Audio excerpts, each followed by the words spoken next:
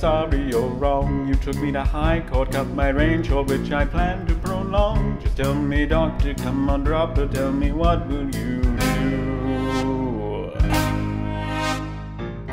Tell me, doctor, what are you going to do after I've killed you all and made sure that the skies ain't blue? Tell me, doctor, won't you just let me go free? Cause there's a little evil inside of me.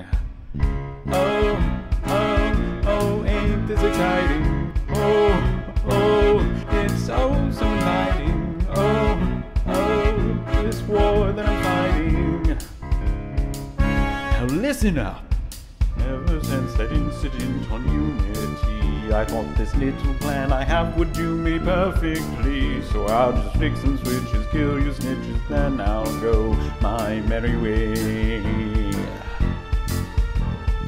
Every time I hear your name, my blood starts to boil, and I start to think of how I'll send you into the soil. So when I see you dead, I'll hardly dread to go over and bash your brains.